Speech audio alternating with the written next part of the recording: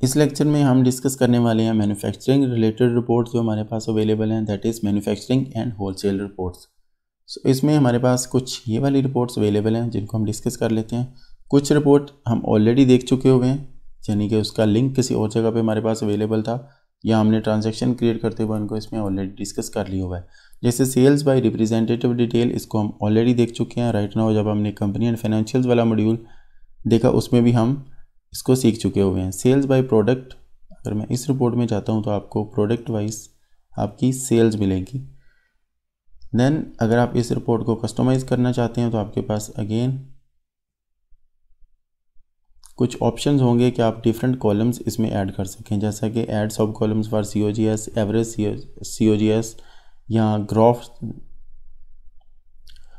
या gross margin जो आपका है, वो आप सिस्टम में ऐड करा सकते हैं। एडवांस ऑप्शन में वही आपके पास स्टैंडर्ड ऑप्शन होते हैं यहाँ पे कि आप इनकी प्रेजेंटेशन को किस तरह चेंज कर सकते हैं यहाँ पे। Then filter header footer and number ये ऑप्शंस आपको हर एक रिपोर्ट में स्टैंडर्ड मिलेंगे। जस्ट ये डिस्प्ले वाला ऑप्शन चेंज होता जाएगा।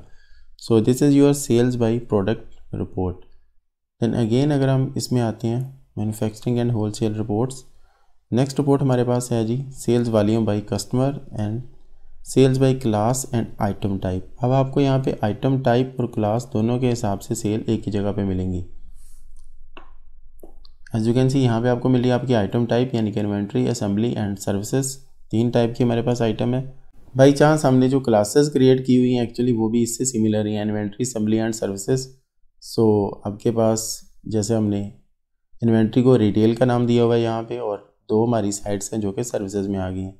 तो आपको अपनी क्लास और इन्वेंट्री की टाइप के हिसाब से रिपोर्ट भी यहाँ पे अवेलेबल होती है। देन इसमें हमारे पास नेक्स्ट रिपोर्ट है that is profitability by product आपको प्रोडक्ट वाइज जो है आपकी प्रॉफिटेबिलिटी मिलेगी then open sale order by item तो आपके जितने भी सेल ऑर्डर हैं, जो आपने अभी तक फुलफ़िल नहीं किए हुए आइटम वाइज आपको सेल ऑर्डर की रिपोर्ट यहाँ से मिलेगी। देन नेक्स्ट इसी तरह हमारे पास ओपन परचेज़ ऑर्डर की एक रिपोर्ट भी अवेलेबल होगी open purchase order by item open sale order by customer. किस किस कस्टमर के कितने कितने सेल ऑर्डर अवेलेबल हैं तो आपको उसकी रिपोर्ट भी यहाँ से मिल सकती है। ये बहुत हैंडी ऑप्शन रिपोर्ट होती है कि आपने काफ़ी सारे सेल्स ऑर्डर सिस्टम में बुक किए होते हैं। बाद में आपको देखना पड़ता है कि कौन कौन से हमने उनमें फुलफ़िल कर दिए हुए हैं कौन से रहते हैं। Then inventory reorder report by vendor इस रिपोर्ट का हमने पहले भी देखा था जब हम इकोनॉमिक ऑर्डर क्वांटिटी और रीऑर्डर पॉइंट को डिस्कस कर रहे थे।